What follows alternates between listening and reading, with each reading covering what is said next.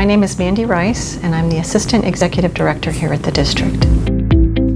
I have been working in the STEM field for 23 years. My grandfather was a mechanical engineer, and my older sister went into the engineering field, so I wanted to give it a try, and I just really liked college and I really liked the field, so I, I got a degree in civil engineering and have been in the field ever since. What's so wonderful about the district is that there's just so many disciplines of scientists and engineers. There's so many facets of the STEM field. Here our scientists and engineers work together. So I really love the sense of teamwork. You have to get several disciplines together to, to get a big initiative done. My job here at the district has much more of a focus day in and day out on things that aren't related to science and engineering, more of the administrative field, but I think it really takes a good technical understanding in order to tie all the pieces together and be successful.